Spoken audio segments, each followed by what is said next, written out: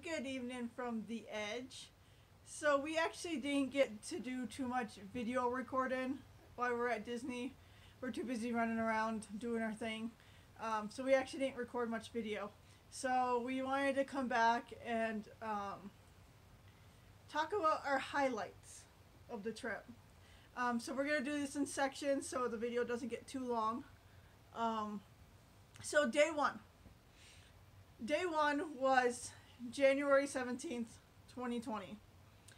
We did not plan it that way, but that was the day the Rise of the Resistance opened at Disneyland.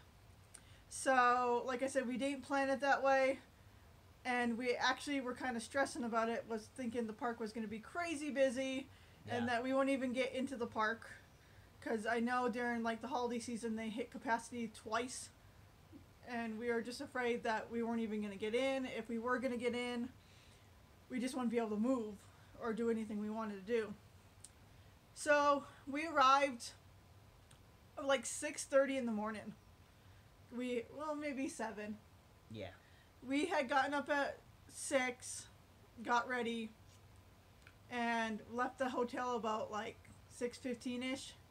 And we decided to hit um, the local Denny's, which was right next to our hotel for breakfast. Um, our hotel did provide breakfast, but they didn't start until 7. And like with the craziness of the new ride, we didn't want to wait that long.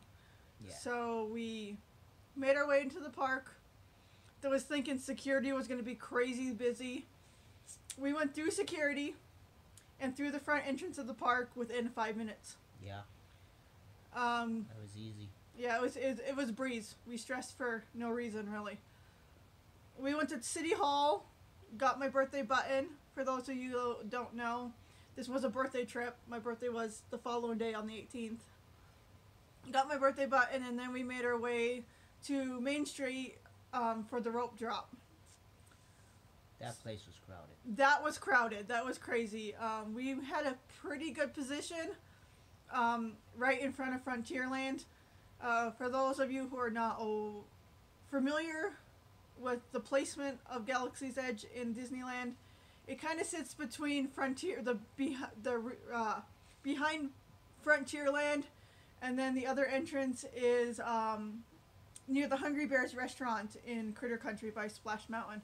So it kind of sits in the far corner of the park. So we got a spot fairly close to the Frontierland gates. They dropped the rope. We made our way in. That was about 7:45ish. Um, we went straight towards Galaxy's Edge. Um, and I should mention that um, Rise of the Resistance, they were using uh, uh, virtual queue only. So uh, you could get boarding passes on either the Disneyland app, which we'll actually be covering in a different video, or you could go to a guest relations in the park. So we made our way to Galaxy's Edge, knowing that you couldn't get on Rise of Resistance without a boarding pass. We went straight towards the other ride, which is Smuggler's Run. Smuggler's Run. Smuggler's. Run. We got the Smuggler's Run. It still hadn't hit the 8 o'clock mark when the boarding passes were going to be available. We walked through the queue of Smuggler's Run and realized it was still five minutes before the boarding passes opened for Rise of the Resistance. So we stepped aside because we didn't want to be on the ride uh, when the boarding passes opened. So we stepped aside, waited. When the boarding passes came up online, uh, we hit the app as soon as we could. We got boarding group 93. So only boarding groups 1 through 82 are guaranteed access to the ride that day. If you're above that, it's only if they can accommodate more. That's if the um, ride doesn't break down. So we got 82, so we went in with the whole, or 83, we went in with the whole mindset we may or may not get on the ride, so we just continued about our day. Got on the Smuggler's Run. That was amazing. And then we made our way to Splash Mountain, where I rode. Russ did not. Yeah.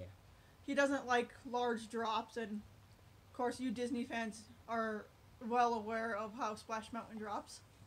So we did Splash Mountain. We did the Winnie the Pooh ride. Mm-hmm. And then we made our way over to Indiana Jones. And that's probably the ride we waited the most in line for.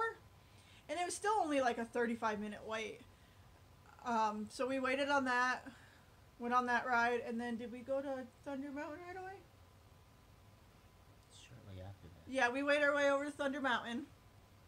That was basically a, almost a walk on. Yeah. It was maybe a five ten minute wait. Um, that's actually one of our favorite rides. So we went over there, and then I had fast passes for Space Mountain. So we made our way over to Tomorrowland. We still had some quite a bit of time. We wanted to get Russ on Star Tours. Um, I personally can't really do Star Tours; it makes me sick. Um, so we were gonna get him on Star Tours, but it was so crowded over there. Russ said, "You know what? We went on Smuggler's Run. It's kind of like Star Tours with a new twist." Um, spoiler alert! Sorry about that. Um, so then we went over to Autotopia and did that. Why we waste, wasted time for my fast pass. Russ hung out, um, just sat down, played on his phone while I did uh, Space Mountain.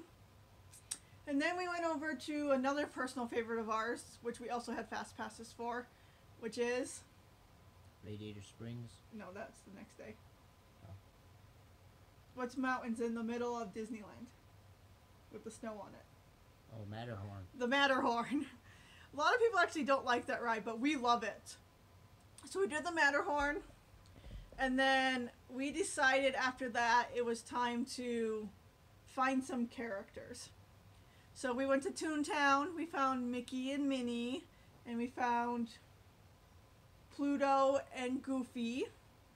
And then while we were there, we decided to jump on uh, Roger Rabbit. And that was only like a 20 minute wait. Yeah. Um, for you, those of you who are not familiar with the Disney Corporation, Roger Rabbit's is kind of a, it's a family ride. It's more on the kiddie side, but it's always has a long line, No. regardless. Like we even saw wait times for that up to 50 minutes. So we went on that, and then we decided it was lunchtime. So we made our way over to the Hungry Bears restaurant. We're located in Critter Country. And we will be doing that on a separate post. But we had an amazing lunch. It was good. It was really good. And fairly good price for theme park food. And then after that, since we're already in Critter Country, we decided to uh, meet Tigger and Pooh Bear. And then after that, what did we do after that? Oh, we went. Then we went met Moana. And then we went to one of Russ's favorite rides, which is Astro Blasters, which he always beats me in those kind of games, but they're still fun anyway. And then after that, Russ decided he had enough. It was enough uh, crowds for him. Um, so he decided to go back to the room for a little bit. We literally stayed like a five minute walk from the main gate. And I continued on by myself. I went and found Tiana, who was actually at the main gate. And then I went on Mr. Toad's Wild Ride, which Russ has still yet to do. He hasn't done it yet. And then I decided to brave it and go on Thunder Mountain again. And you know, I just waited. It was a 35 minute, 45 minute wait. And then I ended up texting Russ saying, "Hey, they're getting close to our boarding for Rise of the Resistance. If you want to go on it, you might want to make your way back." Well, great minds think alike. He was already on his way back. Oh, by the way, we actually did do Smuggler's Run twice. Yeah. That was before he decided it was enough for the day. We did Smuggler's Run, and then we did um, uh, a live video for a Facebook group that we are in, uh, H2C Ohana. Um, showed them around Galaxy's Edge a little bit. So, Russ got back into the park, and we made our way over to the Rise of the Resistance. We still had about six, seven numbers to go through before our boarding was arriving. But um, so when you actually get your boarding group and you get close and they actually call you up, they will text you on the app. Um, so we made it, and you then you have two hours to redeem your pass. So we made our way over there. By the time we got over there, they were on 81 or 91. 91. They're on 91, and we were 93, so we just kind of hung out. And within five, ten minutes, they were calling us up. So, Rise of the Resistance was amazing. And we will actually do that on a separate blog because we don't want to do any spoilers and everything. So we'll do that later. We'll do a whole spoiler thing later. Um, so to stay tuned for that. And then after that, we decided, even though the park was still open for a couple hours, because at this point it was like eight o'clock, eight thirty. Um, we we had enough for the day. We were tired. We were sore, so we made our way back to our hotel. And luckily, our hotel had a rooftop deck. So we still got to see the fireworks. And even though we didn't have the music choreographed with it, I actually think we had a better view of the fireworks than you would have in the park. They seem closer. They some seemed closer, and they were, yeah, it's a lot clearer view because we're up on the rooftop above, basically above the park, but across the street. So that was our first day at Disneyland for my birthday. That was January 17th, 2020. So we will be doing a second video for our second day. So for now, that's all. Russ, do you have anything to add? No. No? So that's all for now. So good night from the edge, and we will see you again soon.